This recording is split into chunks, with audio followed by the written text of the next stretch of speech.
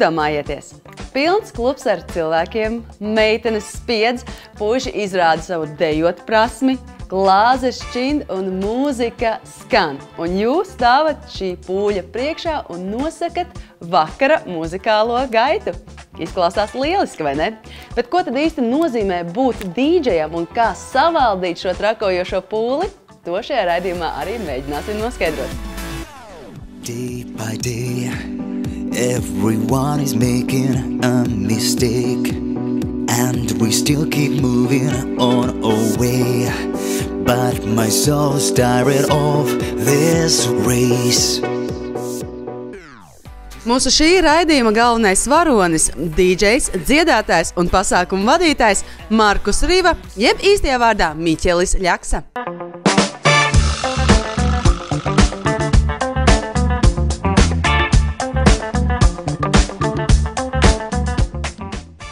Markus! Čau, Līgi! Prieks tev redzēt! Apusēji! Markus, stāsti, ko tev nozīmē būt dīdžejam un dīdžejot?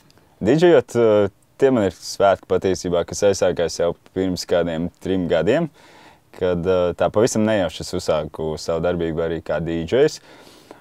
Un tā nu trīs gadu laikā, nu, labi, uz divu roku pirkstiem ir saskaitāms tās nedēļas nogales, kad man ir bijis uh, brīvs un kad es neesmu spēlējis kā dīdžejs. Man patīk šis, eh, šis arots, un man patīk, man patīk eh, lasīt savā ziņā cilvēku tādu emocionālo un psiholoģisko stāvokli. Šo cilvēku, kas ir eh, uz deju zāles vai kādos pasākumos. Un, man patīk iepriecināt cilvēkus ar varbūt nedzirdētu un labu mūziku. Un man patīk, man patīk radīt pasākumos to, to noskaņu. Un, un pārsvarā tie ir pozitīvi, pozitīvi pasākumu un pozitīvi iespēju arī pašam. Markus ir viens no tiem cilvēkiem, par kuru man ļoti krasi mainījās viedoklis, kad es viņu iepazinās.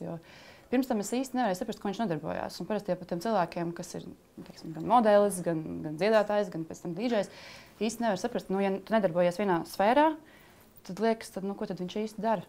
Un, un tad, kad es iepazinos viņu, tad bija tā, ka, sapratu, ka viņš tiešām ir ļoti talantīgs visās tajās jomās, ko viņš dara, un patiesībā pat apbrīnojami talantīgs. Pēc kā tu lasi cilvēkus? Pēc kā tu nosaki, ko viņi gribētu dzirdēt, kāda stila mūzika? Kaut kā jau šo trīs gadu laikā ir izveidojušies arī tāda sava veida apmeklētāja tāda tipāža, ka tu redz, vai, vai teiksim, ir, ir skaista meitene no 20 līdz 30, kurai patīk tas un tas, vai, vai teiksim, dažādas citas tādas ne stereotipiskas eh, tādas sievietes, bet nu, ir kaut kādi cilvēku modeļi, pēc kuriem arī tu vari noteikt šo, te, šo te sajūtu. Bet ir bijuši kaut kādi 3% no visiem pasākumiem, kad nu, ir ļoti grūti nolasīt to cilvēku emocionālo stāvokli un saprast, ko tad viņi tajā brīdī grib dzirdēt. Un tad tu nospēlējies pa visu un spēlē to, kas tev patīk. Beig beigās viņi paliec līdzi. Un, tāpat jā, ir labi. Jā, jā. Pie mums studijā atnāca puisis, ar breketiem. Uh, pilnīgi tāds calītis. uh, un un uh, bija tāda sajūta, ka viņam galva ir milzīgas skaits ar dažādām idejām, kā, kā kaut ko uztaisīt mūzika, kā dziedāt. Un, uh, Uh, principā no sākumā mēs uh, Markusu paņēmām kā uh, bekvokalisti vienam projektam, kur mēs taisījām Eirovīzijā, ja? un viņš tur piedalījās vienkārši kā bekvokalists. Bet viņš atnāca pēc tam, viņš atnāca ar disku, kur bija, kur bija ierakstītas divas dziesmas, ļoti naīvas, ļoti tādas, nu, nu smieklīgas, ja? Un es parādīju savam producentam, tās dziesmas mēs divi tā noklausījāmies, tā pasmējāmies, tā, nu, pozitīvi, ja. Oi, nu, puisīts, nu, ļoti naīvi un tā tālāk, bet, bet uh, mēs padomājam, ka vajag dot puisim šansi uh, kaut ko pateikt mūzikā. Kas ir vieglākais un kas ir grūtākais dīdžejojot? Vai vispār var kaut ko tādu noteikt? Grūtākais noteikti, protams, ir tas režīms un negulētās naktis un uh, gulētās dienas, saulainās vasaras dienas, kuras šeit nāks nogulēt. Un, jā, šis ir režīms, kas, kuram tev ir jāpielāgojas, kad citi cilvēki atpūšas, tad tu strādā. Pozitīvās lietas ir ļoti daudz. Tas, ka, tas, ka tu vari skaļi klausīties mūziku, tu vari, vari iepriecināt citus cilvēkus, tu vari samainīties ar enerģijām, tu vari gūt daudz jaunas iespējas attiecībā vispār uz tādām dzīves vērtībām. Kaut kāds desmit gadus, laikam, es Miķeli zinu. Nu jā, un es viņu par Miķeli saucu, nevis par Markusu. Un, uh, tas notika sporta klubā. Uh, Tolaik vēl uh, nebija šausmīgi populāri džekiem apmeklēt uh, grupu nodarbības. Un, uh, es jau tad vadīju grupu nodarbības, kuras bija pilnīgi uniseks. Un Miķels ielūrēja no trenižera zāles arī grupu nodarbībā. Jo, un, un tad es sapratu, ka viņa tā rakstura īpašība galvenā ir tā, ka viņš neapstājās pie iesāktā, viņš meklē vienmēr kaut kādus uh, labākus ceļus, labākas uh, iespējas. Un, uh, ja ir kaut kāds uzlabojums, tad, tad tas ir priekš viņa. Nu, noteikti katram dīdžam ir tāda situācija, ka cilvēki nāk un saka, uzliec tagad manu disku, uzliec manu dziesmu. Kā tu tiec galā ar šo trakojošo pūli un uh, to vēlmi viņiem kontrolēt vakara gaitu? Uh, šādā situācijā es parasti, parasti cenšos uh, būt laipns, pieklājīgs, kā jau arī citās dzīves situācijās. Protams, dīdžiem nav, nav, nav tā varbūt tas patīkamākais, ka tev nāk un lūdzu uzlikt kādu dziesmu, bet eh, viss ir atkarīgs no ballītes un viss ir atkarīgs no, no tā, tā kopējā viļņa, kāds, kāds ir tajā ballītē. Pirmam kārtam, ko, uz ko mēs pievēršam uzmanību ar producenti, uz, viņ, uz viņas īsto vārdu un uzvārdu.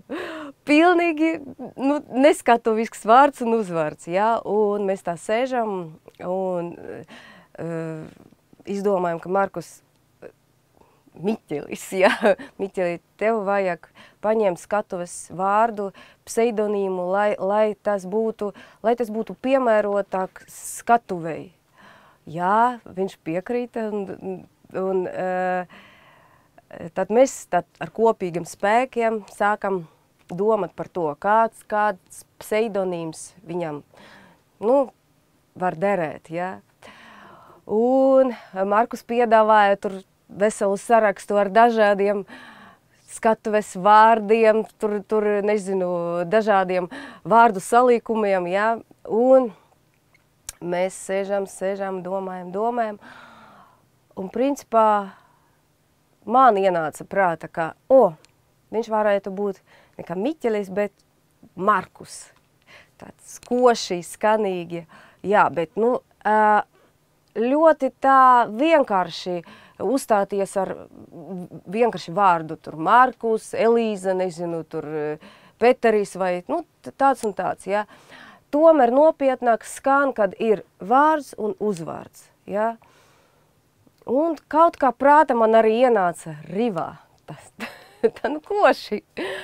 Un Markus Rīva saliekam kopā, skatāmies, kā labi skan. Ir bijuši kādi atgadījumi šo trīs gadu laikā? O, jā, patiesībā diezgan daudz ir. Sākot ar to, ka nāk cilvēki un uh, pasūta šīs dziesmas, un tad viņi svaidās ar naudas banknotēm. Ja tu uzliec, jā. ja neuzliec, tad ko saplēš tev tagad priekšā? citreiz, citreiz svaidās nevis ar naudas banknotēm, citreiz svaidās ar dakšiņām. Mēģināja nu, nodurt? Jā, ir bijis viens gadījums, kad man var tiešā nozīmē uzbruka ar dakšiņu viens uh, sadarbojies uh, balijas apmeklētājs, laikam nebija sajūsmā par kādu dziesmu. Uh, bet tāpat laikā ir ļoti, ļoti, ļoti daudz, daudz pozitīvu momentu, ka tu vari iepazīties ar daudziem dažādiem jauniem cilvēkiem un uh, var uzklausīt arī daudz labu, labu kā, atziņu un labu lietu par to, ka cilvēki ir tiešām priecīgi, viņi ir izdejojušies, un ka tu redzi, ka viņiem nekas dzīvē tajā brīdī vairs nerūp. Viņi, uh, Viņi ir vienkārši laimīgi dejojot. Viņš bija pusdzīvi nostaigājis ar breketēm. Nu, tagad jau liekas, ka tur Markus Rīvs ir stilīgākais un tur baigais atlēts, bet patiesībā jau viņš tāds nebija. Kādreiz viņš bija resns un šķībiem zobiem. Uh, tad uh, viņš bija pusdzīvi nostaigājis ar breketēm un beidzot viņas bija noņēmis. Tad kino vidū es, es jūtu, ka kāds skatās uz mani. Viņš un rāda, ka viņš ir noņēmis brekets. Tā bija vispār. Uz to filmu vajadzēja iet vēlreiz. Viņš to nepārtraukti darīja. Viņš bija tik laimīgs, ka ir ticis vaļā no breketēm. Mūzika. Būt mūziķim, tu pats arī pieminēji tik tikko stāsti par šo savu dzīves posmu un pusi. Mūziķis.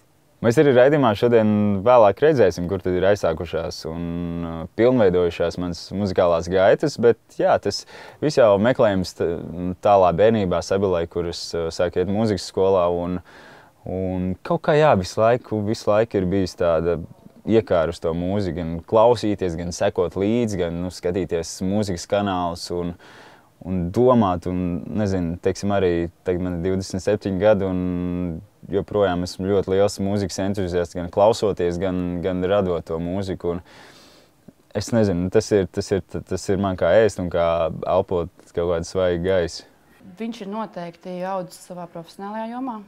Ļoti strauji audzis, par ko man ir milzīgs prieks. Un bija man liekas, viens jaunais gads, kad es viņam teicu, kad, kad es ļoti lepojos ar viņu kā draugu. Jo ne, man neviens cilvēks man liekas, līdz šim nav manā, manā acu priekšā tik strauji izaudzis, kā, kā viņš to izdarījis. Sabrīnojami. Parasti jau nu, daudz mūziķus vecāki ir tieši bīdījušies slidēs, kā ir ar tevi. Arī mamma un teica, ir pielicis savu pirkstu savā muzikālajā karjerā, izaugsmē. Varbūt tik, tik lielā nozīmē, ka aizvedot uz to mūzikas skolu, jo uh, man vecāki ir diezgan tālu no tādām muzikālām sfērām un mākslas sfērām. Uh, Uh, bet, protams, ir, ir muzicēts mans uh, Sabils Ops. Viņš uh, spēlē gan akordeonu, gan ģitāru. Viņam tādas muzikālās zināšanas kaut kādas ir bijušas. Un otrs mans Ops, viņš nodarbojas ar, ar glezniecību un tādām lietām. Tā kā nu, kaut kāds mākslinieckais asinīs man ir. Bet uh, tieši mūsu ģimenē es esmu laikam vienīgais tāds, uh, kas ir aizgājis muzikālā sfērā, lai gan arī mans mazais brālis viņš uh, spēlēja trompeti un arī ir gājis muzikas skolā, bet uh, es biju tāds, kas laikam jau no dzimšanas, es pat, es pat pie vecmāmas mājās jau taisīju visādus teātrus un iestudēju lugas un, un dziedāju un spēlēju ģitāru un visu kaut ko ņēmos. Tā kā es laikam biju tāds neapturams un ieciklējies uz to mākslas un skatuves virzienu. Viņam ir ļoti dažādas puses, viņš ir ļoti radoša uh, personība. Un, uh, tas ir ļoti reizes variants, kā cilvēks māk darīt tik, tik uh, dažādu mākslu.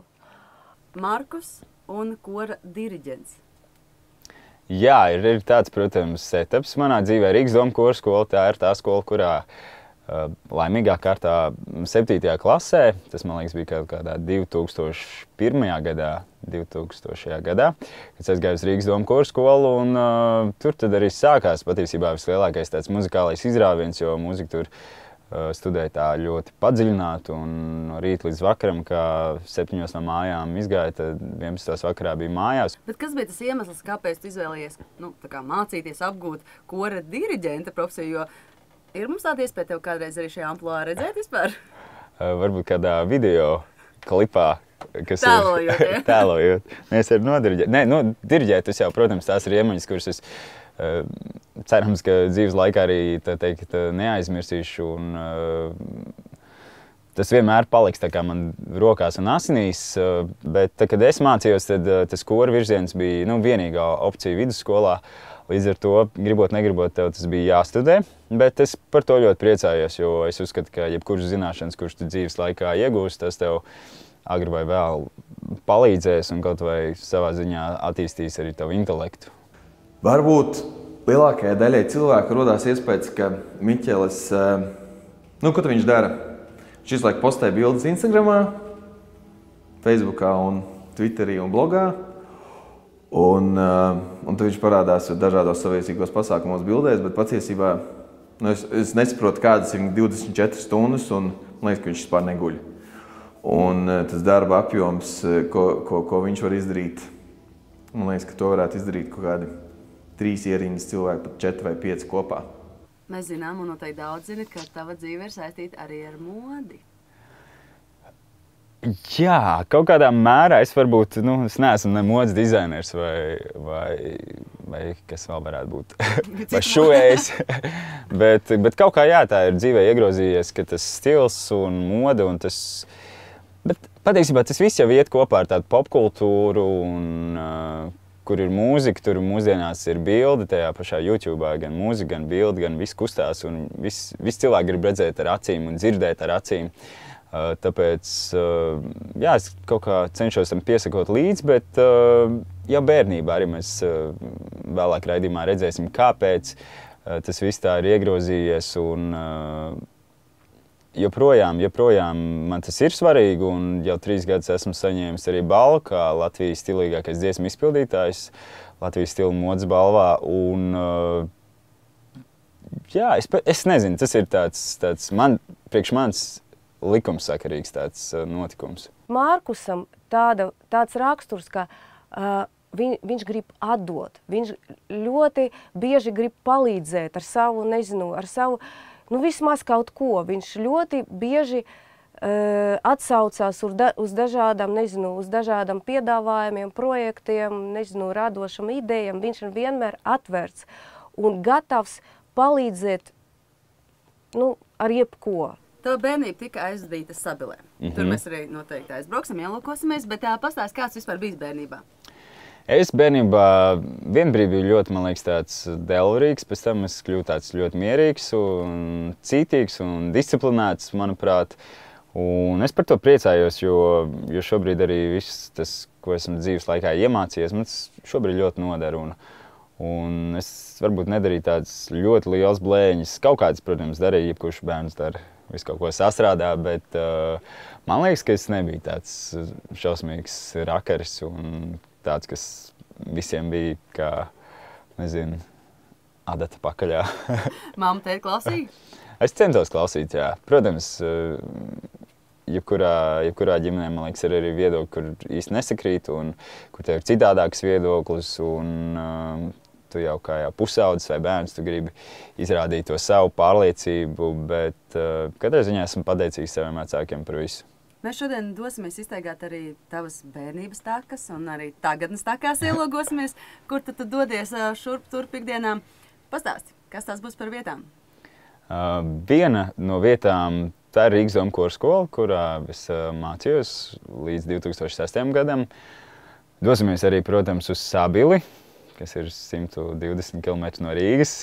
Un um, aizdosimies arī uz restorānu dārstu Spīķeros, kas arī šobrīd ir viens no maniem projektiem. Un šobrīd mēs esam arī ierakstu studijā, kur ļoti daudz dienas un naktis arī es pavadu, radot mūziku, runājot ar eņģeļiem, kā man to patīk teikt.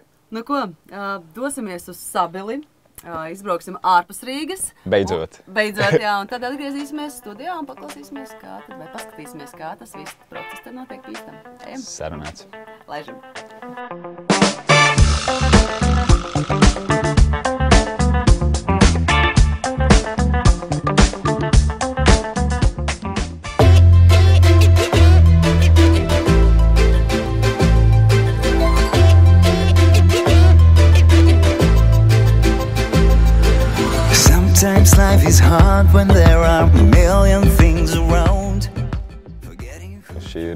no mājām, kurā es arī augu un ļoti ilgu laiku dzīvoju. Uh, man liekas, bija smilši jau trīs, ja es pareizi atceros, bet to mēs varam pārbaudīt. Bet, nu jā, katrā ziņā šīs ir tas, šī ir tā kaimiņu telpa, kurā um, dien dienā gāja iekšā ārā uz šīm trepēm. Tā kā šeit ir sabila, mana dzimtene. Patiesībā ļoti ilgu laiku vispār es šeit neesmu bijis. Viss izskatās uh, daudz citādāk un liekas daudz mazāks nekā tad, kad es augu. Kaut vai arī šis betons, uz kuras uh, pirms otrās klases, 1. septembra skrēju, skrēju, skrēju un nomaucos ar seju uz betonu. Uz 1. septembra aizgāju ar tādu kārtīgu krevelu uz savas sejas. Un tā kā es augu, tad šī tā gan nebija. Bija tikai asfalts, uz kur arī visādas bumbas, spēlēts futbols un uh, tautas bumbu un vēl kaut kas cits. Bet tagad skatos, laikam šeit arī florbols tiek spēlēts ziemā arī hokejs un tā forši visu uztaisīts ar, ar tribīnēm, ar, ar, ar tādiem labiem, labiem aizsagiem un viss vis arī tā labi ir attīstījies. Flashbacks from your life Playing drums and fooling around. Sometimes I wonder what you do when you're far away. Does your heart stay warm? Sabils kultūras nams, un pat īstenībā mēs varētu teikt, ka šī ir uh, tāda pirmā mana skatuve, jo šeit uh, Es bērnībā spēlēju gan teātrī, gan gāju arī mūzikas skolā. Šeit ir mana pirmā mūzikas skola, kurā es vispār mm, sāku pievērsties mūzikai. Uh, šeit ir mana pirmā skatuve, kur es uz skatuves spēlēju jau vienu no savām galvenajām lomām.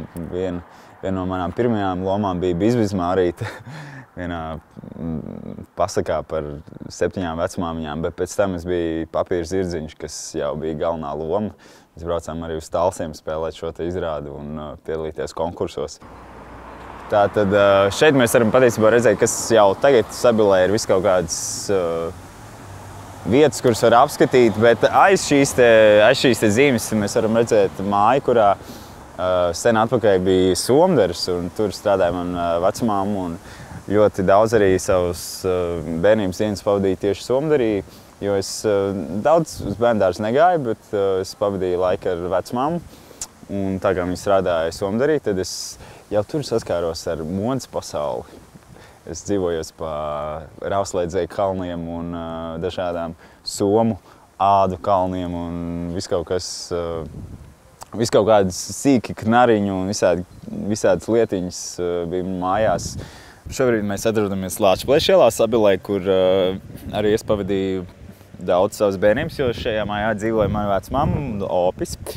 Un, uh, Tad es pavadīju arī ļoti daudz uh, vasaras, un jau tagad, kad mēs dzīvojam Rīgā, mēs, uh, protams, vasarā braucām šeit, un es savas vasaras dzīvoju tāpat Sebilē. Un, uh, daudz, daudz arī visādas blēņas un kaut kāda nedarbības arī tieši šeit, kā piemēram. Mēs paslēpāmies paši krūmos un pie žilgas piesējām maku, un tad tēlojam, nu, cilvēki gāja garām un, un viņi baigi domāja, ka ir atrasts maks, un tikai viņi ņēma to maku, tad mēs rāvām maku prom. Un, vēl tēlojam visādas uh, pārģērbšanās pa šo ielu. Un, uh, nu, mums te ļoti, ļoti, ļoti jautri gājas arī ar visiem pārējiem bērniem, kas dzīvoja tajā mājā.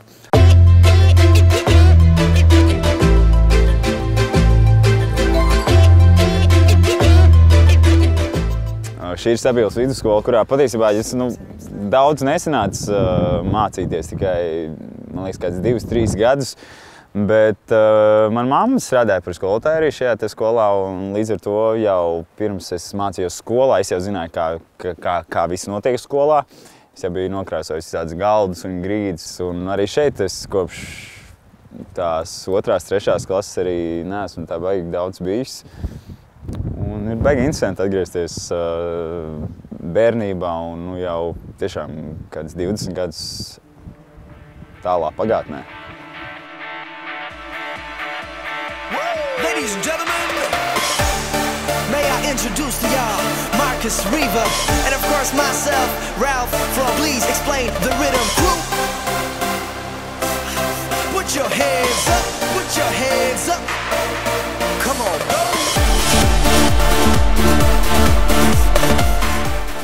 Šobrīd mēs atrodamies Rīgā, Kaunsīm ielā 10. Un, um, tā ir mana vismīļākā skola, Rīgas Doma koru skola, kur arī nu, jau pirms astoņiem gadiem es pats absolvēju kā kora diriģents. Skola tik, tikko nosvinēja savu 20 gadu jubileju, un uh, tiešām man ir tādi visi, pat varbūt dzīves vislabākie un skaistākie brīži bijuši tieši saistībā ar Rīgas Doma koru skolu. Kad es tur mācījos, man nu, ļoti patika mācīties. Un viss tas, ko esmu ieguvis Rīgas domu kursu skolā, man šobrīd, kā mūziķim un uh, māksliniekam, tajā sfērā, ko es daru, tas ir vislabākais, vislabākais, kas man jebkad ir bijis. Tā kā iesim iekšā paskatīties, kā tur tagad izskatās. Par godu skolas jubileju, 20 gadu jubileju, kas tik, tikko arī tika nosvinēta, uh, tika atklāta arī foto izstāde, kurā, kurā ir uh, sabildēti ļoti daudz uh, absolventu, kas arī šo skolu ir šo 20 gadu laikā pabeiguši un kas joprojām darbojas un ir saistīti ar mūziku, ar mākslām. Par godu šeit izstādē arī tiks sabildēti visādi absolventi un varam paskatīties, kas mums šeit ir. ir Iepļaunieca aktrise ir gan no grupas kosmos dalībnieki un arī, arī es esmu. Mans īstais vārds Mikls Ļaksa, 2006. Gads mūziķis DJs.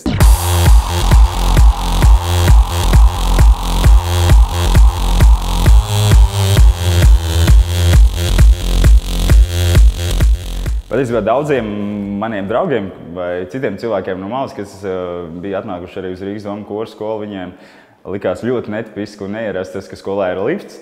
Un, nu, jā, mēs varam redzēt, ka līdz pusdienas trijiem liftu drīkst izmantot tikai skolotāji un darbinieki. Protams, tas neatiecās uz mums, kad mēs mācījāmies. Uh, kad mēs eh, paši mācījāmies Rīgas domu kurskolā. Lai gan mēs, protams, centāmies ievērot šo noteikumu un likumu, bet eh, ļoti bieži, protams, sanāca tā, ka nu, nobrauksim labāk ar liftu, paskatāmies, vai tur skolotāji nestaigā vai direktors nav kaut kur apkārt eh, riņķī. Mēs vienkārši pārkāpām skolas noteikumus. Tā kā nu, dodamies tālāk. Šobrīd mēs atrodamies Spīķeros, Rīgā, Maskavas ielā 4, kur Eh, atrodas viena no tādām vietām, kuru arī es kopā ar eh, saviem draugiem un kolēģiem esam izveidojuši. Un, eh, tas ir restorāns dārsts. Es domāju, mēs varam iet iekšā un paskatīties, kā tur izskatās. Jā, restorāns dārsts ir tāda vieta, kas man pašam ir ļoti tuvu, jo sanāk šeit arī diezgan bieži uzturēties un viss tas Viss tas process, ko tu esi ieguldījis šajā vietā kopā ar saviem kolēģiem, tas man liekas, ir tāds neatsverams uh, notikums tavā dzīvē, ka tu pats esi kaut ko uh, izdarījis, ieguldījis lielu darbu. Es domāju, un es tiešām daudz naktas negulēju par to, lai izdomātu, kā, ko un kāpēc. Un šobrīd jā, vairāk atbild šeit tieši par mākslinieckajiem pasākumiem. Un, Un tas ir jā, tāds kā savā veidā tāds kā bērns un tavs projekts, kas iepriecina, manuprāt, arī daudz cilvēkus no malas. Nu, mēs esam atgriezušies Rīgā, Rīgas centrā, studijā, kur mēs sanāk pavadīt ļoti daudz laika un runāt ar tiem eņģeļiem. Un šobrīd arī strādāju pie savu trešā studijas albumu, kas būs tāds, manuprāt, ļoti emocionāls un ļoti biogrāfisks un saistīts ar maniem cilvēkiem, kas ir apkārt. Un, ļoti daudz pārdzīvojumiem.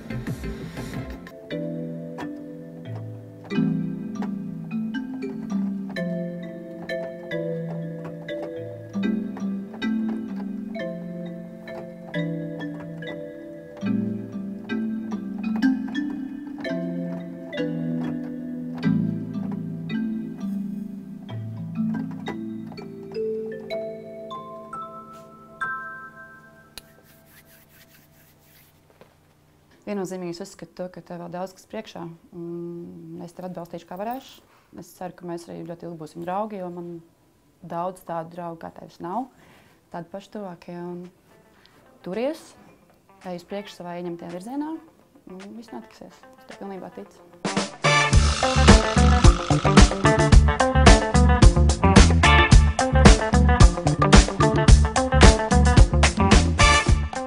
Nu, lūk, Ja līdz šim jūs domājāt, ka Markus Rīva ir tikai DJs un vienkārši mūziķis, tad domāju un ceru, ka šī raidījuma palīdzību mēs jūsu domas esam mainījuši. Un tas varētu būt arī ieteikums jums un mums, ka par cilvēku varam spriest tikai tad, ja arī personīgi viņu pazīstam.